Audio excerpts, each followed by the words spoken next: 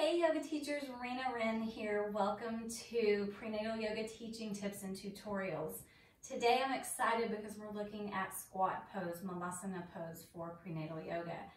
So many options, so hang in here with me today. This posture can be so good for the prenatal student with a few caveats but so good for releasing tension in the low back and hips and even the ankles and really preparing, helping prepare the body for childbirth. So good for the pelvis, uh, great uh, for abduction of the thighs and hips and can't say enough good things about it. So let's jump right in. Quite a few things today. So for the first option, we'll look at just sitting on a block. So I'll put it here and then just coming down. Now you would have talked to your students beforehand to know if they had knee issues or anything like that. Something really important with squat is to know these things beforehand so that you can offer the options kind of going down toward the floor, but you know your students better than, better than anyone. So here, this is an option here. Sometimes even just leaning a little bit back feels good um, and walking the feet out. So you could have them come down, sit, walk the feet out, and really getting into the inner thighs and opening up the hips and pelvis here. That is one option. You could do the same thing on the bolster, just sitting on the bolster. You could even do two bolsters. I have a lot of students who like to do that. Not even prenatal students, just students in general. Um, Knee issues can be a contraindication, so as we go throughout here, you'll see the different options that we have for elevating this even higher. One thing that I see a lot of, especially with prenatal students, is that they haven't practiced yoga a lot and for whatever reason haven't worked on the flexibility in the ankles. So having the blanket underneath the heels is great because it makes, it allows for their ankles to be less flexible. So coming wide and then exhaling coming down, reaching for the floor, and then coming into a version something like this. And remember, this doesn't have to be perfect. This, could, this is just, the function of this is to relieve pain in the back and really get that idea going of preparing the pelvis and the hips for birth. Another one that you could do there, especially with knee issues or pain, is just to have it behind the knees and some even like to have the heels elevated and have it behind the knees. So that is totally up to your student. So that's another one. Then from there, let's look at a couple here and then uh, we'll maybe look at some on the, on the floor. So stability ball, you know I'm a huge fan. So coming and sitting and this is great. So like if you have someone who has any kind of issues where they shouldn't be abducting the legs that far or that there's just any kind of pressure or feeling of, of uh, pulling down in the pelvic floor. So pelvic girdle pain, round ligament pain, varicose veins even might, might feel better to sit here. Hemorrhoids for sure. Sitting here just kind of feels like sitting on a cloud. Placenta previa, any kind of cervical concerns. So I know that I threw a lot at you right there, but these are things that your prenatal students will know if they have, their, their medical provider would have, or health provider would have let them know. And then if you continue to watch these videos, you'll get more information on those as we go.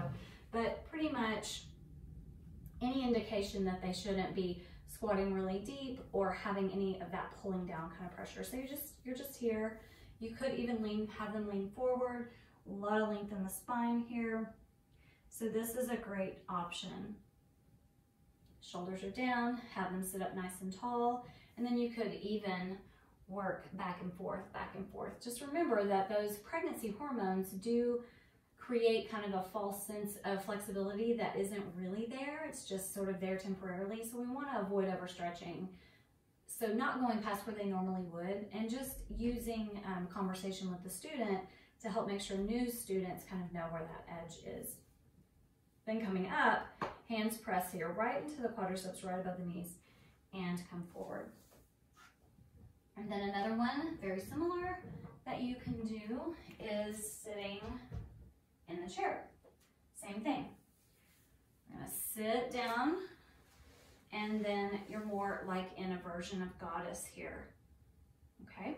And then you could also do that forward and back. A lot of length in the spine.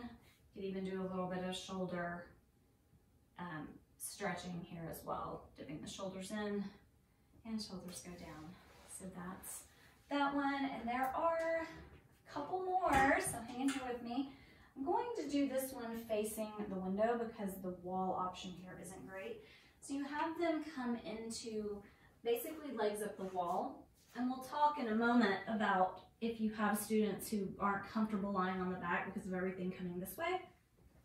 But basically you're here, this is the wall, bend one knee, bend the other knee, start here, and then just start having the knees come further apart and then maybe bring the heels down. And then this is a really great way to access some sensation around that hip joint that you can't really get from a regular squat because your back's not, you're not taking gravity out of it this way. This is, this is so nice. So many of my yin yoga students love this as well. So this is a great option. And then making sure that they're rolling to the side as evenly in the hips as possible and pressing slowly to come up. Another one that I really, really love, especially for if you're doing, if you're offering legs at the wall, but you have people that are kind of at that point where they really don't want to be on their back anymore. And, you know, we hear a lot of talk in the prenatal world about um, lying flat on your back isn't good for prenatal yoga. You can do left lying or elevate the right side a bit. But what I find is that when they reach the point where that's not comfortable, that's really the cue.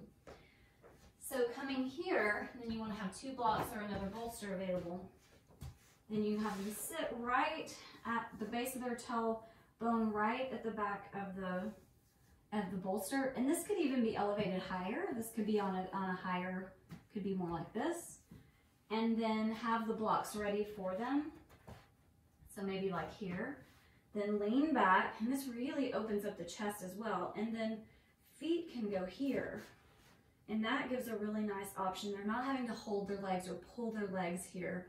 Other things that you could do would be half happy baby or full happy baby. I have videos on those for you as well. One of my favorite things that we do as an alternative to squat is reclined Buddha or Vishnu's couch. If you haven't watched that video, definitely go check that one out. I hope this has been helpful for you today. Have an awesome day and I'll see you soon.